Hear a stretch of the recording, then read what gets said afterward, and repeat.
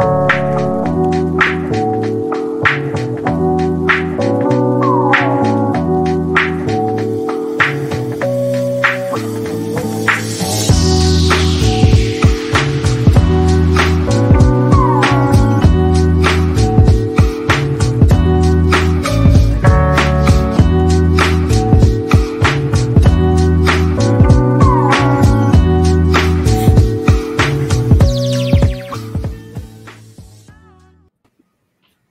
Chicago, what do you say? Welcome to the CHGO Cubs podcast presented by DraftKings, America's top rated sportsbook. Make sure you download the app and use the code CHGO when you sign up. Luke Stuckmeyer, Ryan Herrera, Cody Del Mendo on a chilly Monday in Chicago. And uh, we got lots to talk about because, guys, uh, it looks like looks like some of this will start to heat up because of Rule 5 rosters and all that mm-hmm. stuff for the next 24 hours. We'll see. I see Shane, first one in the chat, always. Uh, always. He's always the first one. Yeah, right. If you're mm-hmm. listening to this later, uh, just on a podcast download, make sure you check us out on the YouTube live at 120 sometime. You can join the chat. It's a lot of fun. Become part of the show.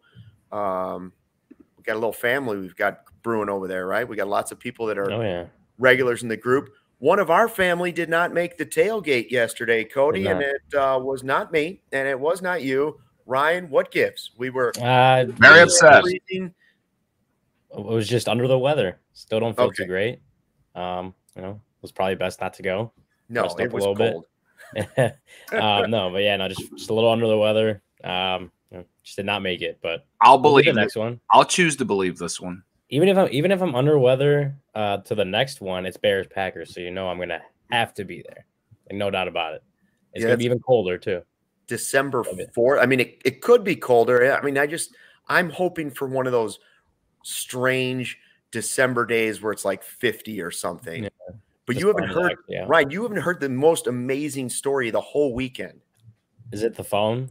It's unbelievable. Okay, I, I need to hear the whole story, but I okay. So, oh, real quickly, we'll get to all the free agency stuff. In fact, we're also going to do a confidence pool ranking our confidence in off-season moves for the Cubs, and then it'll be a total of 55 points. But the, the story goes from the tailgate.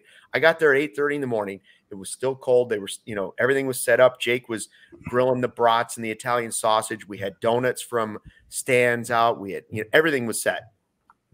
And all of a sudden, the propane goes out on one of the tanks for one of the flat top grills. Jake's like, "We need propane." I'm like, "All right, I'm on it."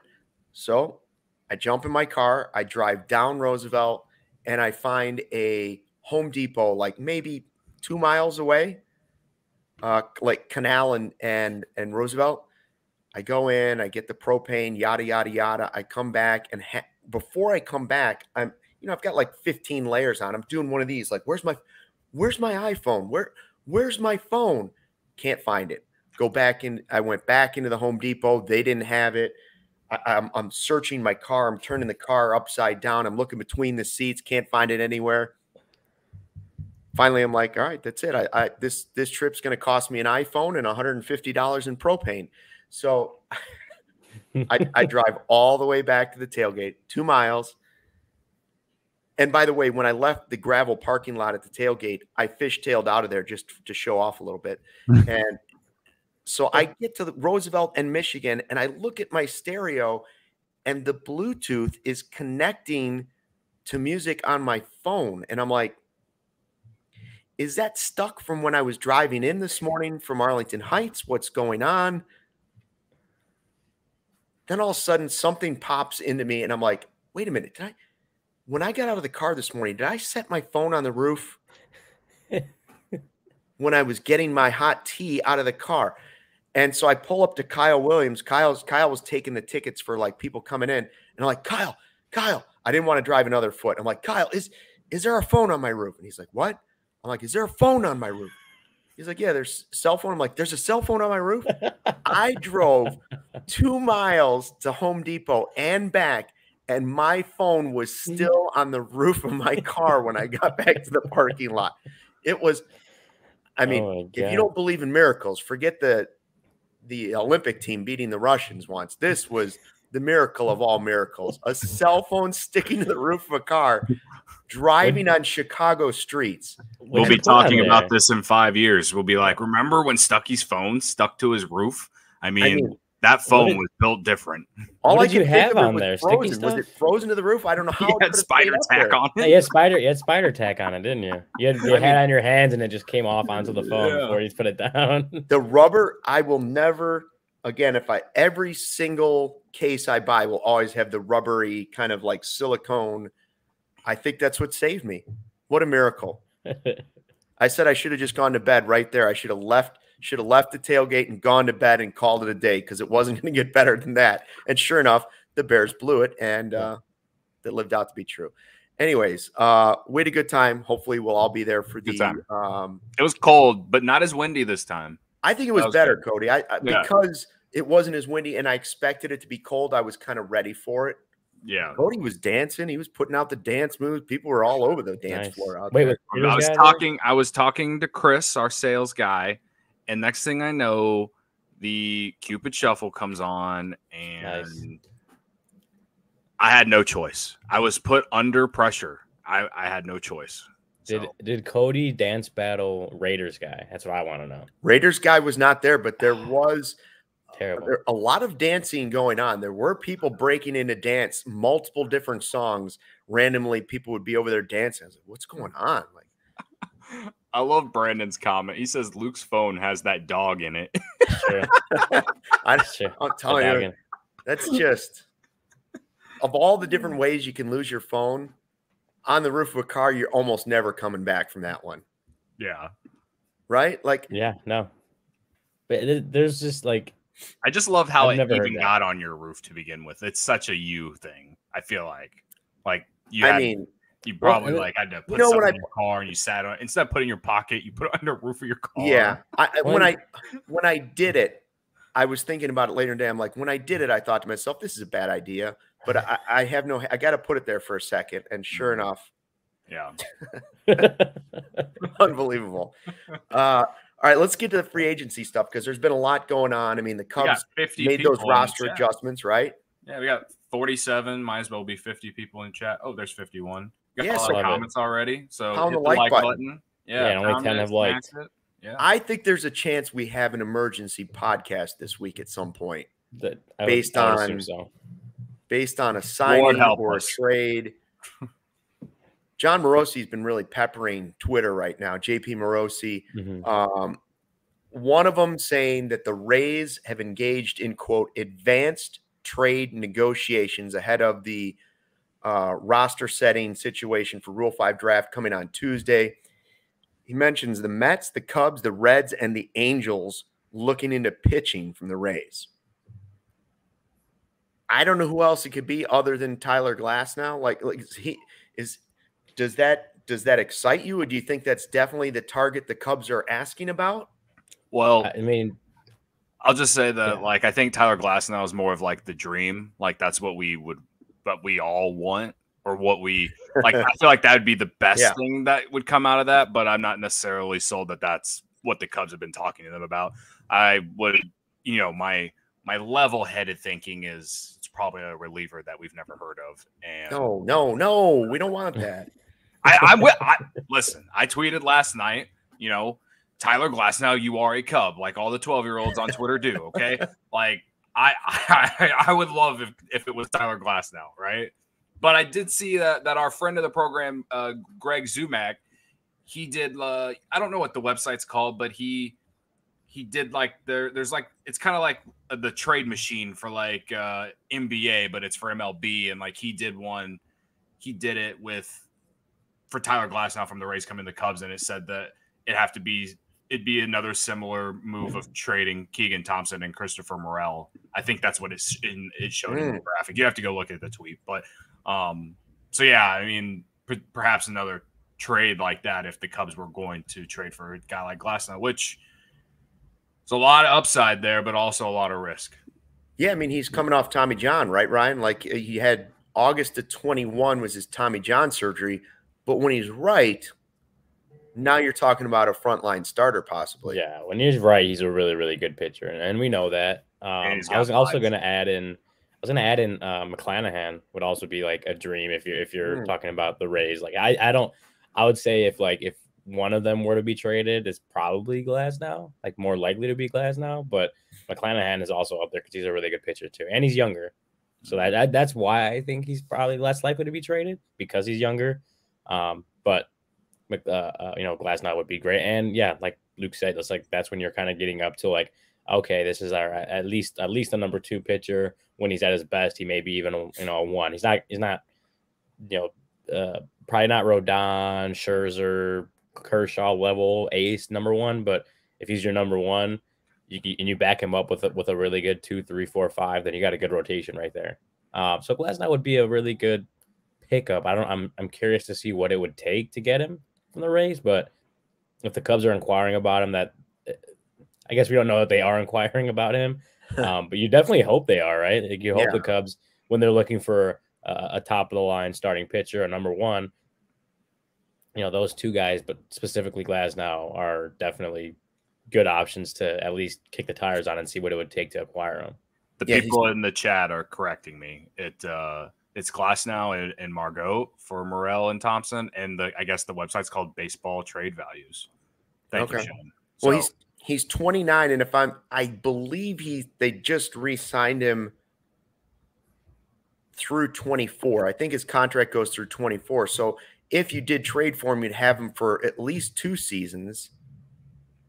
Now Morel and Thompson, that's uh, he is he is a top line starter, but again, you got a guy that only pitched two games last year.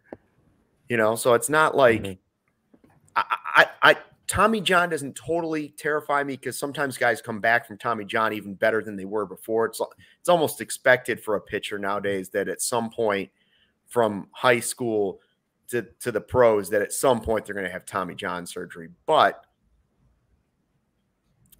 I don't I don't know. Would I give that up for him? Probably. You get the there's a one year extension on there too, so it's not even just for one year. You get him for two years. Right. You get him 23, 24. So mm-hmm. again, it's it's a risk. It definitely is a risk. Um, but he's shown to be great. I mean, the fact that the Rays even have him to begin with is just a. It's not even them. It's like the Pirates are just that stupid. It's one of the worst trades of modern MLB history, at least in the last five years.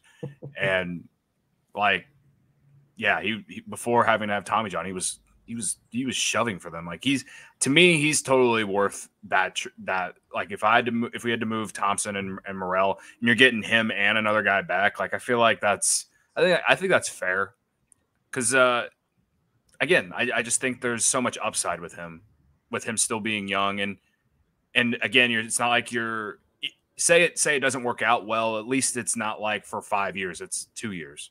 You know what I mean? Like, yeah. and and how do you and, and if say if it's Thompson and Morel, like, do you believe that those guys are going to even reach somewhere near the peak of like what Tyler Glasnow even is? Like, I I have a lot of belief in in Morel being like a really good baseball player for sure. And, and the fact that he's young helps that. Thompson, he's, you know, 27, 28, whatever, right? And like we've gone back and forth on whether he's a starter or a reliever, but like Tyler Glasnow is a surefire number one starter, like when he's healthy. And with how things are today, like people come off Tommy John and, and get back to form all the time now. It's not even like a rarity. It's like it's like expected now at this point. It's not like it was when I was a kid or when Ryan was a kid. Like with how like medicine is and shit now. Like I don't know. Like if that trade was offered, I I would be like I'd be taking a hard look at it in, in consideration. It wouldn't be an automatic like no for me. No, I'd be I'd be interested in it too. And and then it you know what's the trickle down effect of it? Let's say you do give up Morel and Thompson or whoever it might be, and you make the trade, but you add Glasnow. Does that now mean uh, because you've traded assets and not money to get Glasnow? Does that now free? What if you added Senga on top of that? What if Glasnow and Senga were two additions that you, you you added your rotation? Or on the flip side, does that now that you have Glasnow and you know Hendricks is coming back, can you go cheaper with the next pitcher and then dump all the money into free agency? And one of the shortstops, because JP Morosi claims again, like the Cubs are active in this hunt for one of these shortstops, and we're waiting for that first domino to go. And I keep saying, I said it again on Twitter, like I want them to be the first domino. I don't want them to be the fourth domino because if they're the fourth domino, you know they're getting the player that the other three teams didn't want.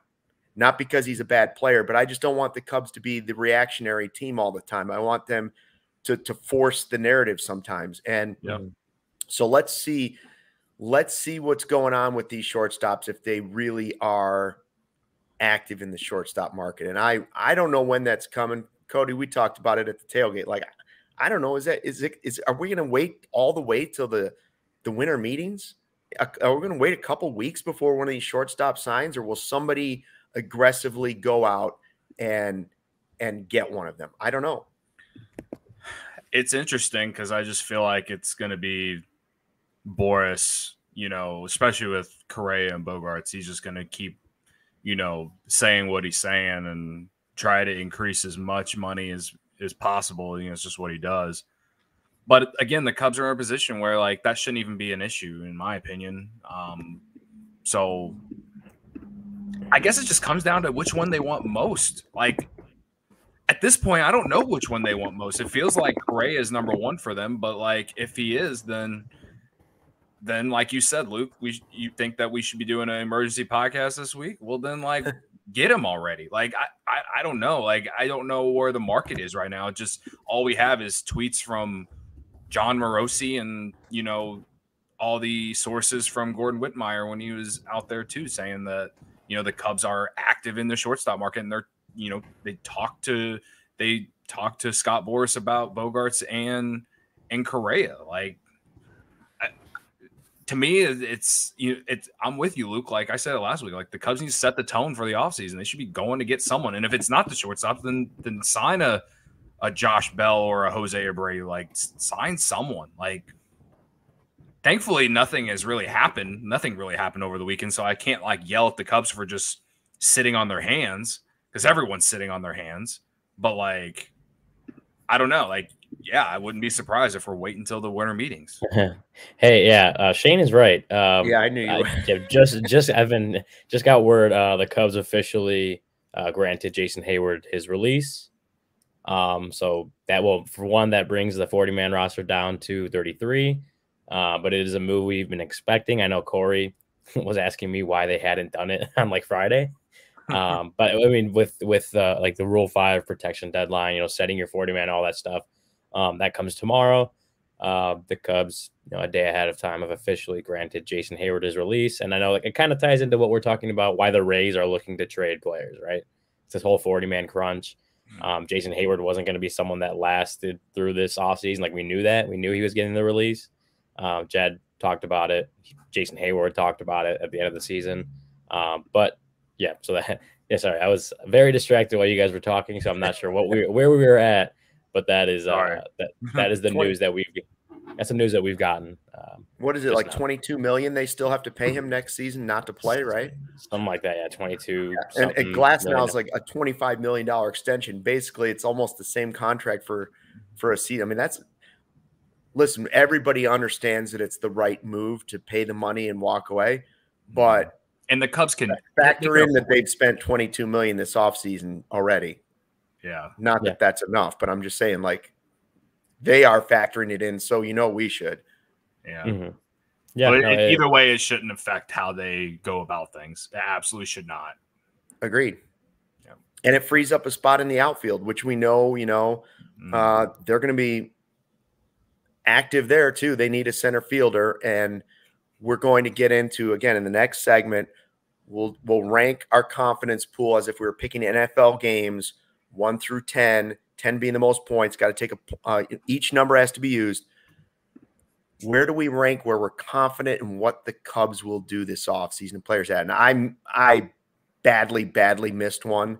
And, and it's bugging me that I missed it because I, I was the first one to put it out and I, I, I sent it into the Slack message for the graphics guys. And I, yeah, I, I definitely missed one. I, I feel yeah, well, there was there was one that me and Cody both had. I had already had it at the top. I'm like, oh, both of them are gonna forget it. I'm gonna be the only one that gets it, and all of a sudden I see Cody with it too. I'm like, damn. Yeah, I I I forgot it. Um, what about the Morosi posting about Kodai Senga? Kind of an update on it. Like he put out he did a hit on MLB Network, and when he listed his five teams that are that are interested in talking to his agent, um, it was the Angels, the Dodgers, the Mariners, the Rangers, and the Blue Jays. No mention of the Cubs this time. Now, we think the Cubs are interested. We know nice things have been said. Um, and this has been a guy that seems to be kind of a link to the Cubs over and over. But, you know, the reason teams are super excited about him, Morosi points out, at the worst case scenario, he believes he's a two or a three but there is potential for him to be somebody's ace depending on the team. So, you know, I look at the Cubs and I'm like, well, there's no reason he couldn't be a two, especially if you don't get Glasnow. Like, there's no reason. Is it possible that he he throws harder than I thought? I saw uh, like a 96 for a fastball in some of the video, and I was like, oh, okay, so you know, he's not just all soft stuff and um, no posting fee so no draft picks. And it's a guy that you hope turns into Shohei Ohtani or somebody like that, at least the pitcher part of it, right? Like, I don't know. Where are, are, you? Is your confidence damaged by the fact that Morosi didn't list the Cubs in the top five talking to him? No. Okay. no, not with the steam that's been coming around all season, even during the season. Um, and also Robert Murray you know, put out like ranking in the top 25 free agents, and he mentioned that Senga was part of it or part of, or the Cubs that were he listed the Cubs and Giants, who Morosi didn't say. Um, and this isn't against Morosi. I will always use Morosi as a reason to believe that something might happen, but um, in that instance, that moment in that video that is on the internet, no, I'm not using. I don't. It hasn't changed my mind or took me completely off the thought of the Cubs getting him. So, no, you were focused on Larsa Pippen and Marcus Jordan most of the morning, you know, trying to figure out one of the more bizarre stories and and and of today. Maybe I, the think, I think that came out a while ago, though, didn't it? It it has been out for yeah. like they they keep denying it, saying they're just friends. First, it was at a concert, and they just went to a concert. Then they were shown kind of like snuggling somewhere, and it was like, oh, really? Now they're on the beach, and he's definitely not just snuggling. Uh, yeah. Yeah. Um, but as far I, as I would love to be on a fly on the wall and what yeah. Scottie Pippen thinks of that and what Michael Jordan yeah. thinks of that. or just just them in a room talking about it or something like. um, anyway, but uh, but as it goes to Kodai Senga, um, yeah, it was weird. I, I, mean, I sent you guys that video, uh, Morosi talking, and to not have said the Cubs was a little shocking to me. I was like, I from everything we've heard, the rumors like the Cubs were in on him pretty quickly. Mm-hmm. Um, but there's also probably a bunch of teams that are in on Kodai Senga and trying to woo him. Um, we saw something of, about the Giants having like um, like a Kodai Senga picture on their on their scoreboard or something like that, a video board uh, over there. So maybe that's tells you something that Giants are are obviously recruiting him. Um, no, I don't think for Morosi to not have said the Cubs means the Cubs are completely out on Senga. Uh, it was just like a weird that like I was like I watched the video and I listened. I'm like, did he not say the Cubs? Like, did he not? Okay, I mean, that's, that's, he that's, mentioned five teams and yeah. didn't mention the Cubs. It's not like he named like the two teams that are super hot on him right now or something like yeah. that. He mentioned five major league teams and didn't put the Cubs on that list. Yeah. I don't that, know. that part makes, of it makes me think it's cooled off a little bit and it might have like it, that's definitely a possibility. I also just think, like I said, there could be half the league is in on Kodai Senga, and yeah. that's just who Morosi. That could just be who Morosi's heard from most recently. You know, yeah. like like that that could that could be it. So I don't. I mean, I don't know that I don't put any stock in it. I just wouldn't put too much as far as like that. Uh, that doesn't tell me the Cubs are definitely not not getting Kodai Senga. That's for sure. Like I, if anyone taking from that that the Cubs are are out, I I wouldn't do that. Yeah, I I mean, you could use other free agents to like, you know, as an example, not necessarily from Morosi, but like, I don't know, like we sat here and talked about the free agent pitchers out there all season, and like the Cubs aren't mentioned in anything that has to do with Carlos Rodon or Jacob Degrom. So, yeah, no, I've heard basically Rodon's not even a possibility. Like they yeah. they've already decided that's more than they want for Carlos Rodon. But what I'm saying is, like, who knows? Like, maybe, maybe, maybe a random, random dark dark horse yeah. comes in. You know what I mean? Like, that's just what the nature of free agency is. Uh, yeah. You know, I, I won't. I, I feel like the Cubs getting Senga would be very beneficial, and there's a lot of good things to like about it. But at the same time, I also won't be like heartbroken if they don't get mm-hmm. him. I will be heartbroken if they do not get one of the top four shortstops. I'd I'd I'd even be heartbroken if they missed missed on Dansby Swanson. As much as like the discourse of Dansby Swanson over the course of the weekend has basically turned him into basically being a shortstop version of Jason Heyward.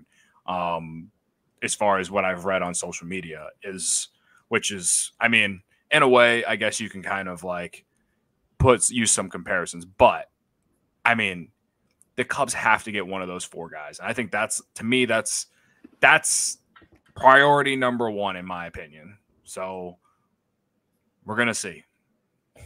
Agreed. And by the way, back to the uh, just for one second, I was I, I forgot to mention in the Glasnow conversation, I was thinking, well, all right, if you lose Keegan Thompson, we've talked about what a great role he'd be coming out of the bullpen. He could be a total weapon. Yeah, but you could also give that role to Wesneski this year too. If you like, uh, maybe that's why he's become a name that's popular. Well, first of all, teams are interested because of what they saw. So mm-hmm. teams are going to ask about players that they're interested in. So Morel and Thompson would be two. Steele would be another, but I, I would assume he'd be the one they would not want to trade if they didn't have to out of that group of three. So, uh, mm-hmm. Ryan, Shady Rays, yeah. You know, I mean, I, I feel like it's a it was a sunny day. It looks like the clouds had come out here in Arlington Heights. You know, like back to my weather days. Yeah, uh, I see a little sun peeking out out my window. There's sun here. Bit. I don't, I don't know. Was still was, sunny? Was there any sun at the tailgate uh, yesterday? Yeah. Uh, yeah. Once once it came over the building, you know, the building yeah. blocks the sun. For oh man, that building's unbelievable. Yeah, the last time when uh, last week when it was like it was windy and cold and the sun was getting blocked, it was like it was, there was no help no help from the elements at all. Um, but and when the sun does peak out and you're at the next Bears tailgate, you might want to make sure you have Shady Rays. Shady Rays never understood why sunglasses were so expensive, so they set out to change it. You don't have to break the bank for quality sunglasses this fall because our friends at Shady Rays have you covered. Shady Rays are premium polarized shades featuring world class optical clarity, substantial durability, and styles catered to everyone and every lifestyle. The best part about Shady Rays, they have the most insane protection program in all of eyewear, the lost and broken replacements. If you lose or break your shades on day one, they told us that they will send you a brand new pair, no questions asked. You drop them off a lake, drop them off a cliff. You even if you leave them on, you know, the, the roof of your car as you're driving to Home Depot to get a new propane tank, anything, they'll replace them. Even with that strong of a protection program, they still manage to make quality that I can tell you, holding in my hand, seem just as good as any expensive pair that I have ever worn. Shady Rays customers seem to agree with over 200,000 five star reviews.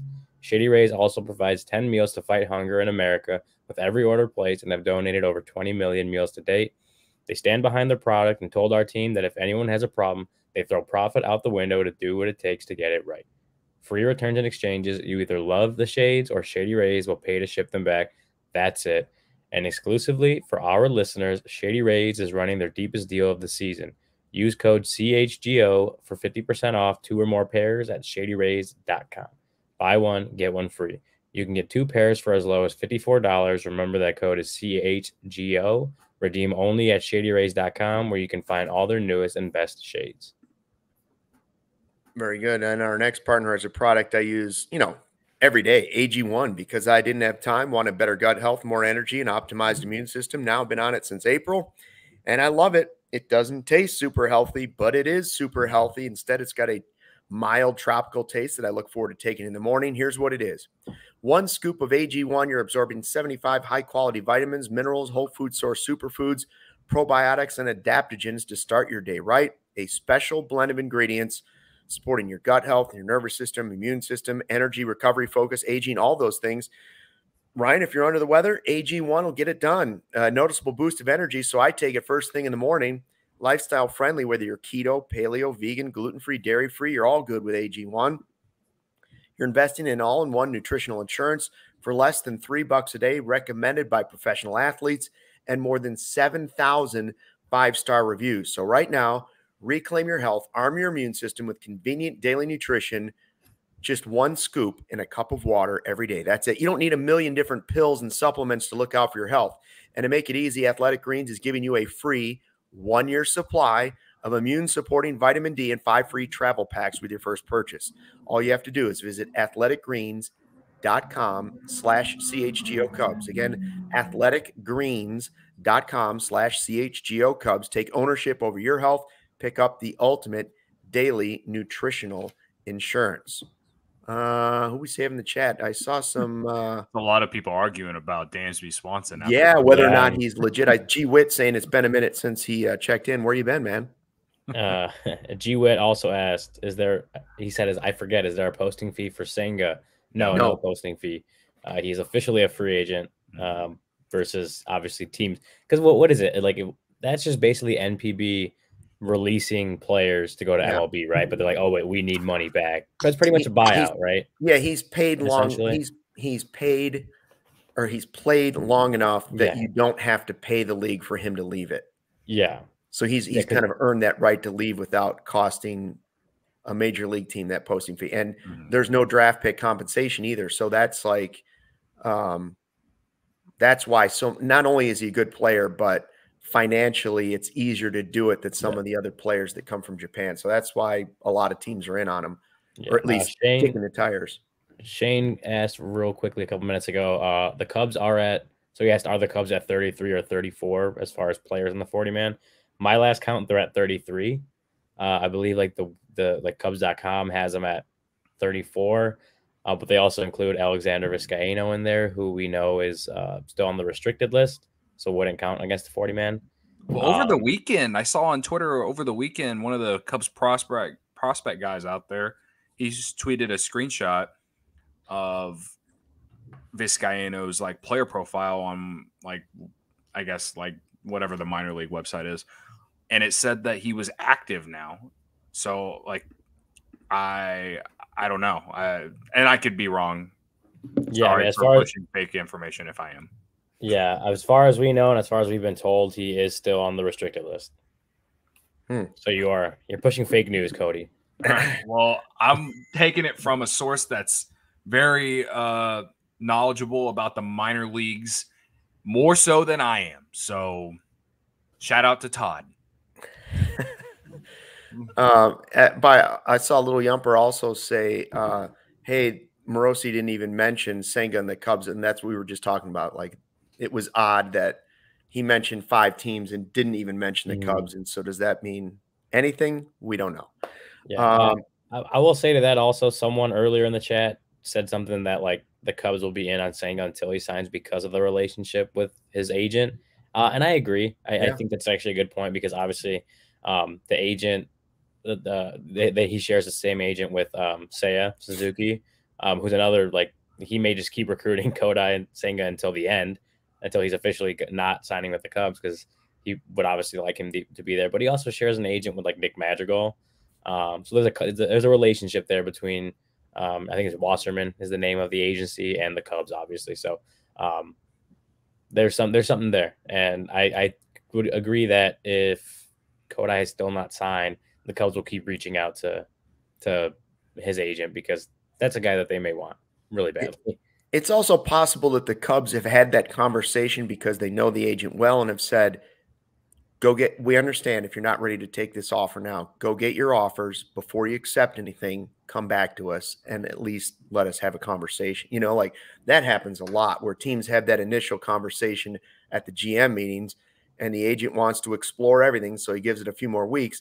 And just because he wouldn't be one of the five teams that was currently having a conversation or talking, like Ryan was saying earlier, doesn't mean that the Cubs haven't had the conversation and the agent knows, hey, eventually I have to go back and tell the Cubs what's going on. So don't give up hope on Kodai Senga if you're really into him. Mm-hmm. Um, Shane says the Cubs website does show Vizcaino is on the yeah, active list. And that's what I'm saying that we were told that he's still on the restricted list. Oh, so, okay. That's what All I'm right. trying to tell you. All right. Well, there you explained it a little bit more. You know how I am with this roster shit. Like I'm awful with it. Yeah. I, I don't know nothing. but there we go. So it's it not should be- part. it Of, it's should- not part of Delmetrics. No. it's, it's just not a factor in it. no, it, sh- it should be down to 33. I just my wish last it was should so much easier to like understand and process. Like, I, I I don't know. Like, you give me a forty man, and then you got all these other mans, and I'm like, just put them all on one thing. There you go. That's my opinion.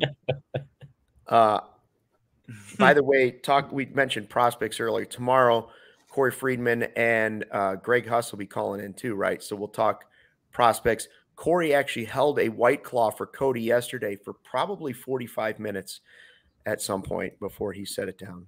He said, "Hold my white claw. I'll be back." And then uh, Cody just disappeared. We're like, "Where'd he go?" He was thawing Was he dancing? Was he dancing? went went to to the warm, warm up. I went to the bathroom. 45 And, minutes later, he comes back. in- Where's my that, white like, claw? We're like, in that like coffee shop that's like right next to the, Dollop, where the yeah. tailgate is. yeah. and and Brian saying, agree with you, Cody. The roster rules are too confusing for they sure. are. Like They that. That's why being a GM, there's there's more to it than fantasy fantasy Mhm. baseball and fantasy football players and stuff. Like there's just so much more.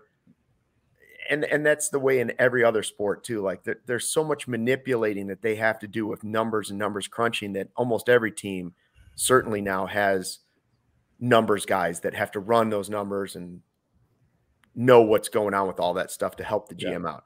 All right, let's get to our confidence pool in Cubs off-season moves. So we're ranking them 1 to 10. We're you- our 10 players that we think the Cubs might make moves on. We each came up with our own list. One is the least confident. If if this guy gets signed or traded to the Cubs this offseason, you get the point the, the number associated with it in points. So I, I tried to do my Valpo math, and I think that's a total of 55 points if you got one through 10. I don't know if that's right or not, but don't hold me to it. I'm just saying 55, one through 10. I went through the calculator like 10 different times. It came back 55 at least seven of those times. So Uh, 70% at of the time, 70% of the time on my Valpo calculator, that is 55 points for the total. I got. I also got 55, so I think we're good. I got a 57 and a 53 too. So I Luke went to the Duke of the Midwest, so I mean, right, clearly this the is all right. dominant basketball school.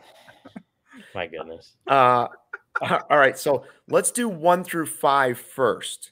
Who wants to go first with their one through five pointer? So this I'll is go first. kinda- these are guys you think the Cubs might be in on, but you're not as confident as your next five will be. Okay. Uh, okay. So number one, I have Archie Bradley. Uh, and here I'll just list them and then I'll go into it. Uh, so number one, I have Archie Bradley. Two, I have Dansby Swanson. Three, Cody Bellinger. Four, um, Xander Bogaerts, and then five, Carlos Correa. Um, so I guess the two shortstops, I'm just in the middle ground. Like, I think they're the priority. I think they need to go get one of them, but given recent history, it's hard for me to just fully believe that they're going to automatically get one of them. So when it comes to that, Michael Collada, I'm with you. Like I get it. We've been hurt way, way too many times. Um, so yeah, they have actions speak louder than words. So that's why I have uh those three shortstops in the, my bottom five more so than in the top. So and then I listed Archie Bradley number one as le- like as someone who could, but like I don't necessarily believe it only because I think he's coming off injury and he has a history of being a really good reliever. And the Cubs have known to go get guys like that. Like David Robertson was like a guy like that. I think he only pitched like 18 innings last season, so I'm assuming he got hurt. I think that's what happened. Um, and I was just trying to find a reliever that I figured you two wouldn't put in there. So I just chose something different. I he does kind of look like someone the Cubs have would would go after just for the you know th- Mhm. of how they build bullpens. So Yeah. um yeah, I think I I you know and Bellinger obviously like I I would rather have him, have him over Kiermaier, but it depends on if the Dodgers are, you know non-tender him a contract or not. You know what I mean? So I think he would I think he would be a great fit uh, as a pla- platoon option in the outfield uh, with Brennen Davis or whoever. Um, but I'm not significantly, I'm not like super confident about it. It's just something Yeah. that I would like to see happen. So uh, I guess Correa would be the one that I think is more likely to happen out of those five. Um, but again, I'm with you, Michael Collada. Like actions speak louder than words. Prove, like, show us.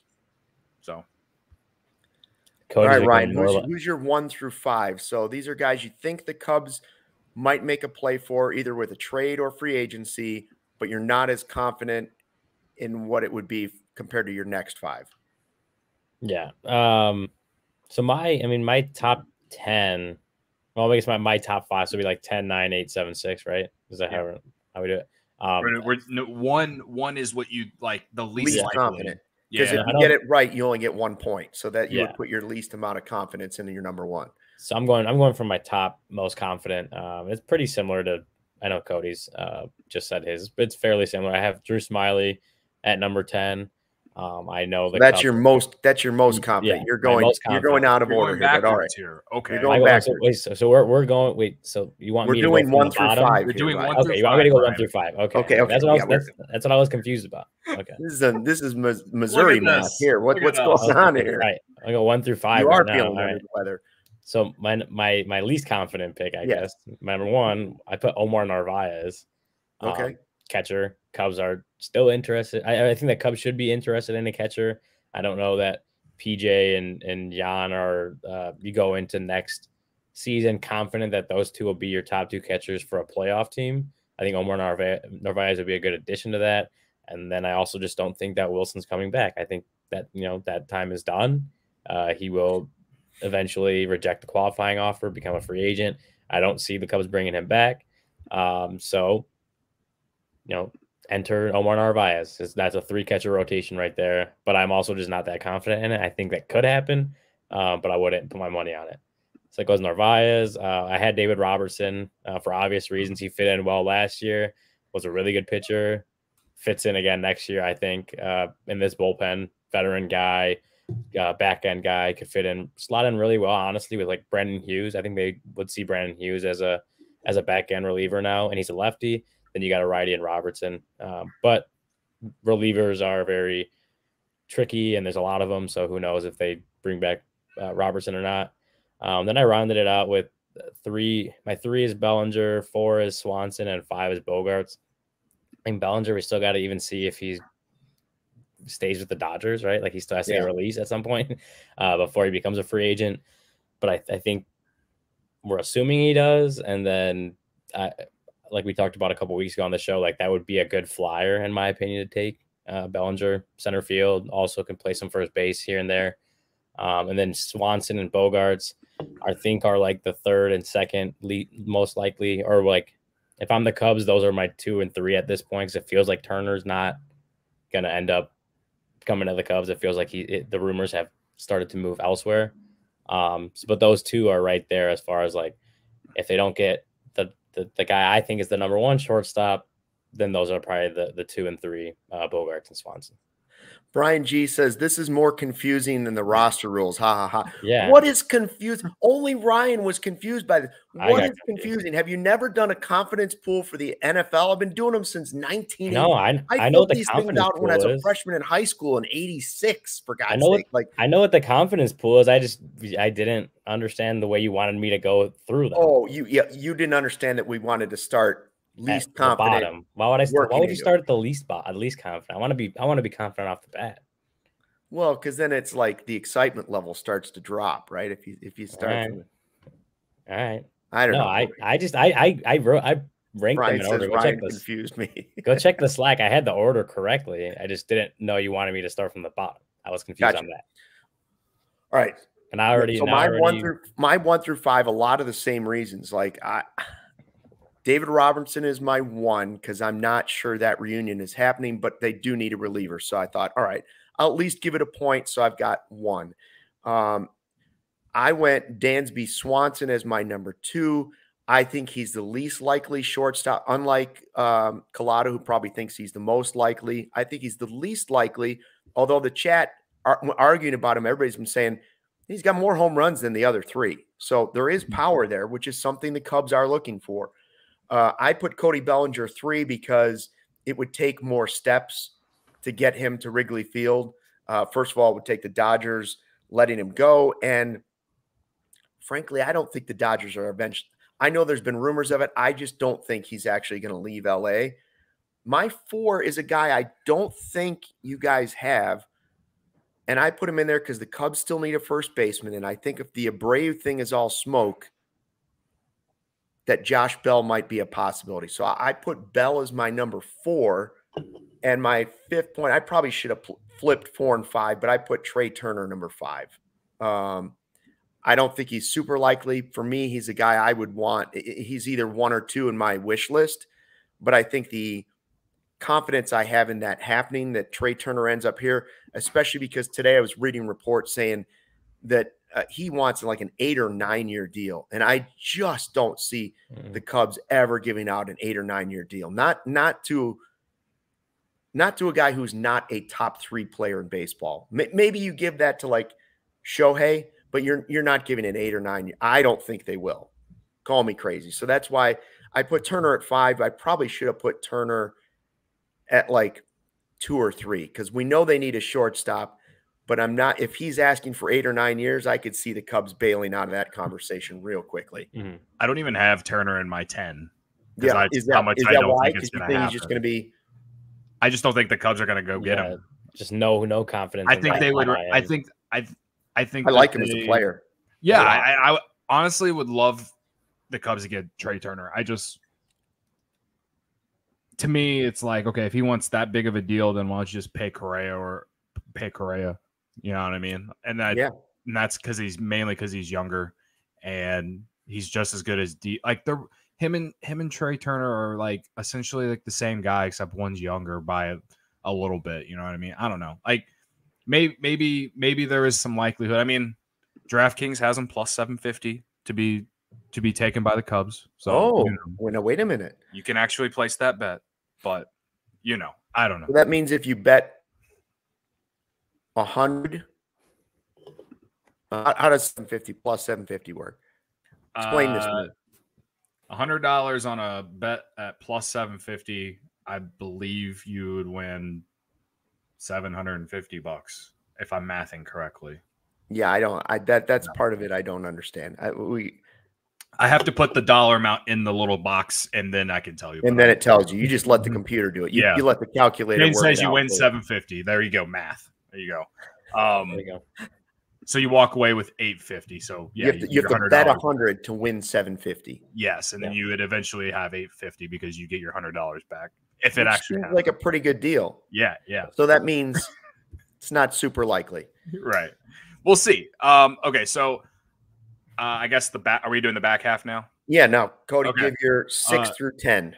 Okay, so I I kind of read my list wrong. Um, oh, so geez. let me just do it. I, I, did, I, the, I did the I did the right section of it, but I didn't read the right, correct order. Right, so I went one Archie Bradley, Dansby Swanson number two, th- Cody Bellinger three, and then Trea Turner number four and number five Xander Bogaerts. That's why Trea Turner wasn't on my freaking list because I just forgot to put his name there. I was actually moving guys around and I forgot to copy and paste. So okay, my, well, one, that was right. Now you're going to go six, Again. seven. So uh, eight, now, nine, so I had Xander Bogaerts five. And, and you know, honestly, you could switch Xander Bogaerts or with Carlos Correa either way. Like maybe Bogaerts has a higher possibility because it seems like the Cubs could maybe get him on a shorter term deal in terms of years, uh, at least from what I've read. So maybe, you know, I think those two are ne- neck and neck in terms of like the possibility. So whatever. After that, I got a, I have a Abreu at seven, Kiermaier at eight, Josh Bell at nine, and Drew Smyly at ten. Now I think Drew Smyly is going to be a Cub. Like it would, honestly wouldn't like. I don't think that's a surprise to me. Like they they they've said they want to bring the guy back. He was really solid for them. Would have had even better numbers if he didn't get if he wasn't hurt. Hell, they probably would have been able to trade him then. But it's everything shows that he wants to be here. So, you know, like I, I think that's going to happen.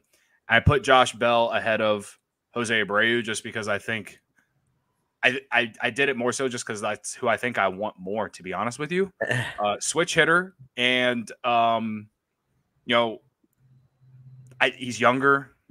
I, I just think there's more. You can get more value out of, of that, but I mean, I, the only way that I see Abreu more so than Bell is just because of short term years. So I mean, I don't know.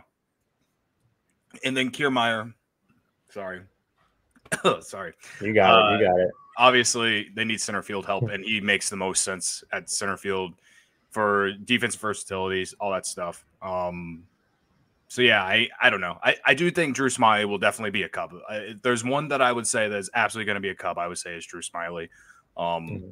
but I think that I think that Bell, Abreu, and Kiermaier, two of those three will also be Cubs. I just don't know of the two first basemen which one will be it, but I I'm fairly confident that one of those two first basemen will be will be Cubs. And if the and if the Dodgers hang on to Bellinger, then Kiermaier is definitely going to be a Cub. Did you see Kalata's comment? Because I was sitting here wondering. I wonder what his one through ten would look like. Who he who he really believes. And he goes Ortega, Schwindel, Higgins, Rivas, Swanson. I don't understand the hate for Dansby Swanson. Like I no, get it. I don't either. I, I get I, it.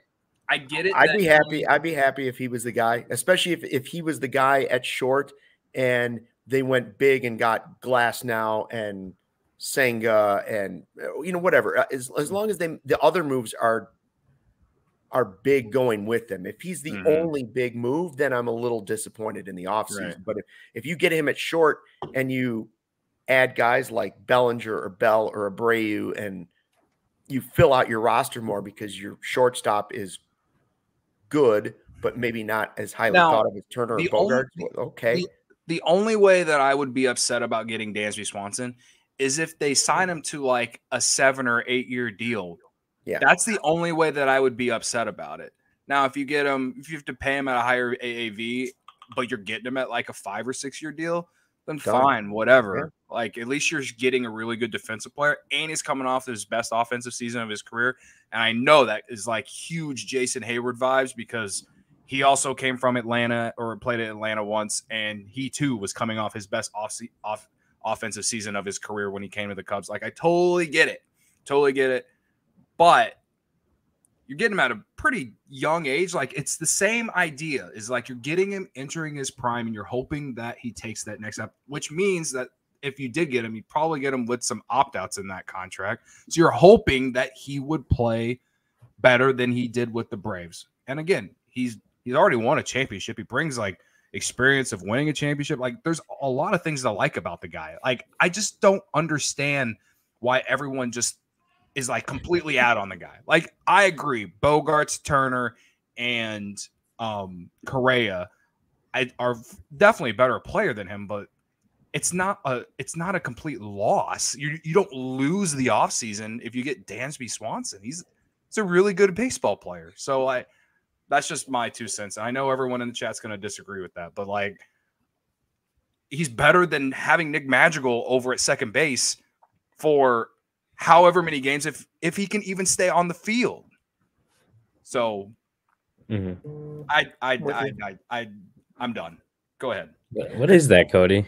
What are you drinking over there? I'm drinking an Alani uh, energy drink because I'm gonna go to the gym after this. Oh, look at that. Yeah. As if the show wasn't giving you enough juice. Yeah, stay active, my drink. friends. Stay yeah. active. I need to go to the gym to sweat out like all of the sends I made yesterday. all right, Ryan. Give us right. your sixth here in the six through ten. Starting with six. All right. So my six uh, is Kodai Senga.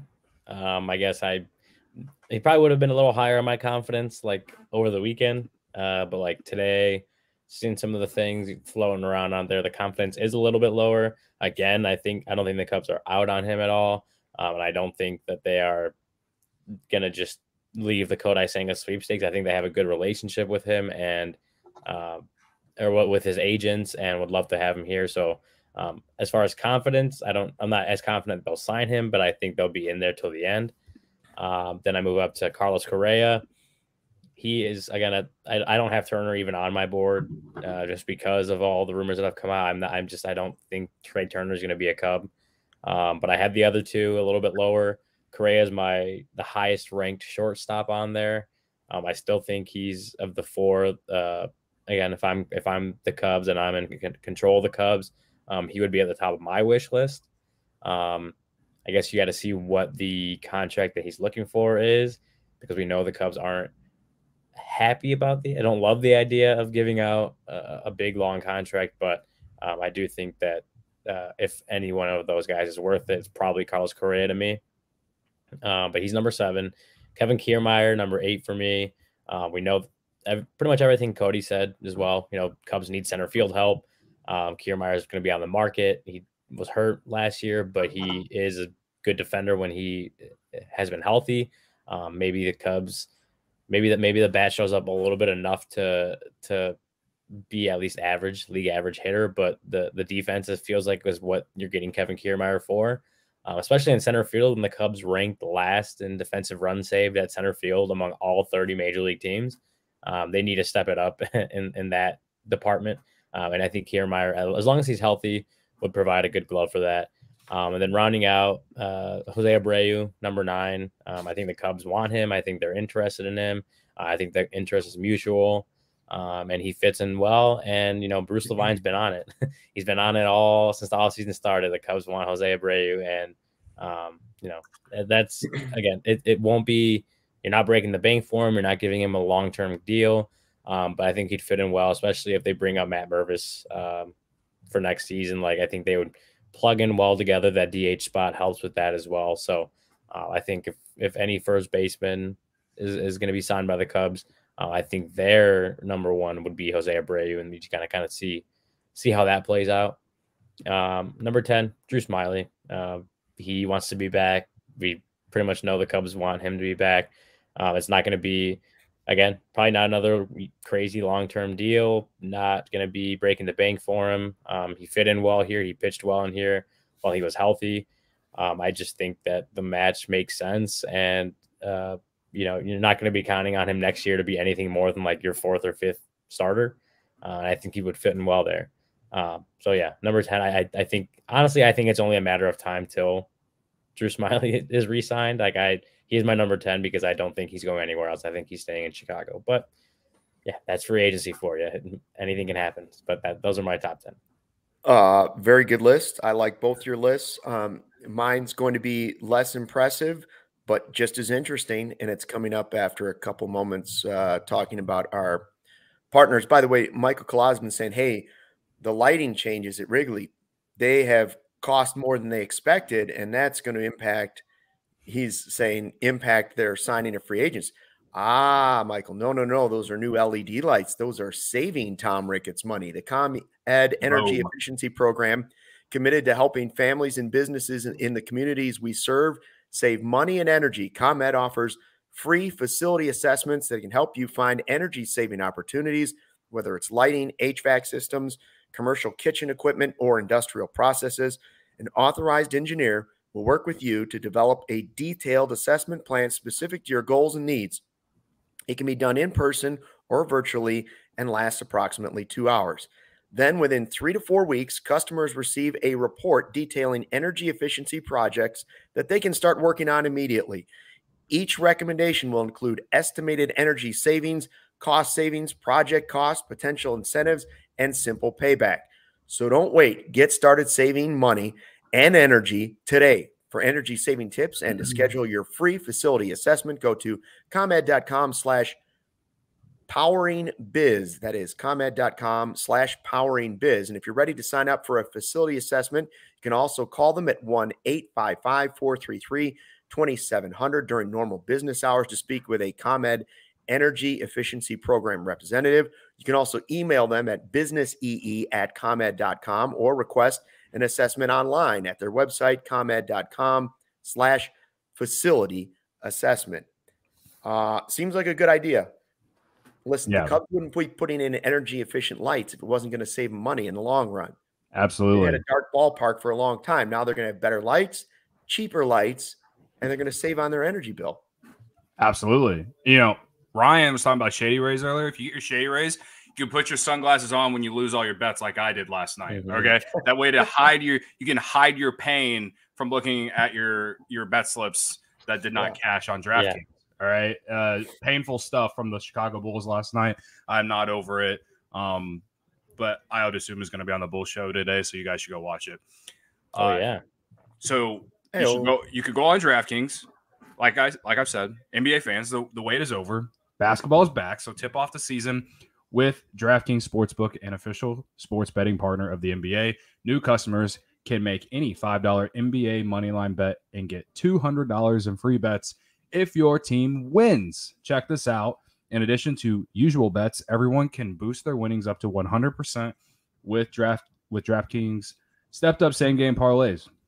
Go to the DraftKings Sportsbook app, opt in, and place a stepped up same game parlay today. With payouts bigger than ever, DraftKings Sportsbook is where I go to bet on the NBA. Download the DraftKings Sportsbook app now. Use promo code CHGO. Make any $5 bet this week and get $200 in free bets if your team wins. Only at DraftKings Sportsbook with promo code CHGO. Minimum age and eligibility restrictions apply. See show notes for details in the YouTube or podcast description. That said, Drake minus 12 and Maine plus 20 and a half. Parlay on DraftKings today. We got some teenagers dribbling some basketballs tonight, and I like those two schools. Maine yeah. going up against Boston College, who stinks, couldn't even cover against Detroit Mercy. And then Drake, they're going up against a really young team that has a bunch of new guys. They're trying to gel, gel, gel. J- the Drake is favored to win the Missouri Valley this year. 12 point favorites. That's it. Feed me the Bulldogs. Let's go. Yeah. If I could uh, bet Illinois against Mon- Monmouth tonight, I would, but I can't unless I go to a book, which eventually I will be able to whenever the one at Wrigley is finally built. Cody's the only person I know who bets on Detroit Mercy games. Yeah. I, am fading Boston College all season now after that game. So uh, all right, here's here's my much awaited six through ten, and I will admit that I blew it. I I forgot Drew Smyly. I put my list in first, then you guys followed up like you you guys took like two hours to follow up my list that was made public on our Slack channel, and I forgot Drew Smyly. So if Drew Smyly, if and when he signs with the Cubs, I'm out of this because you guys are both going to get like ten points. So yeah. I'm pretty much done before it starts, no. unless somehow Drew Smyly is swept yeah. away by a hot offer from the Cardinals. there you go. Well, that's what I'm saying. We both, me and Cody, both have him at ten. So for some yeah, reason, you guys are riding. He doesn't. That's 10 points high. right out, right out. Mm-hmm. So it's a big factor. So I went uh Glasnow at six just because I would like to see it happen in the next 48 hours. Uh, I just think he'd be a great fit on the team. I'm yeah. I'm happy to do it for two years. I don't think Thompson and Morel would be too much, especially if let's say that two years had a third year option on it, team option on it, then I think you're really talking about locking down a guy coming off Tommy John, sure, but it's just not the same surgery that mm-hmm. it used to be. Um, I put Carlos Correa at seven. I, it's probably very high and very optimistic, but I do think they're going to get one of the shortstops. And I think that's the guy that, if they had their choice, they would get. Whether or not the contract is going to line up, I don't know. But I'm trying to stay positive and say Correa seven, Senga eight. I, I Morosi's list didn't have it today as one of the five teams that he's talking to. I just think where there's smoke, there's fire there, and I do think the Cubs are interested. I know a lot of other teams are. I think Seiya being here already and talking to him certainly doesn't hurt. And if the Cubs are willing to give the money, and again, I don't think their goal is to give up prospects. So if they don't have to give up prospects, I think they'd rather pay, which is it shows you how they landed Seiya last year. They'd rather spend uh, what what do they say sensibly than they would trading away the prospects that they just tried to pile up. Um, I have a Abreu at nine. I don't know if two. I believe it. I don't know if I believe it or not, but I that's where I have my. I I think mm-hmm. He's at least going to consider the Cubs. I I and I went Kiermaier ten because I think that makes more sense than Bellinger, just because they don't have to give up as much. He's a name we've heard for a long time, um, and he's not a guy that would block anybody in the outfield. He'd be there. Yeah. He'd be a nice fit. He would make the team better for the next couple years, and you wouldn't have to make a major investment if you're going to spend your money on someone like Correa and or make those investments on Glasnow, Senga, whoever it might be, then Kiermaier makes sense as a yeah. moderate investment at center field. Yeah, that's where I was at too. And that's why like I think we've all kind of had like one of the shortstops and one of the center mm-hmm. fielders mm-hmm. higher on the list, and then like some of like the second or third options lower. Like I had Bellinger, uh, Swanson, and Bogaerts a little lower on the list, but I had Kiermaier and Correa higher because like I do think those would be the top choices uh, in my opinion. but then like you get lower, like oh they don't get either of those guys, but you do want some of these other guys still on the board because they also make sense too.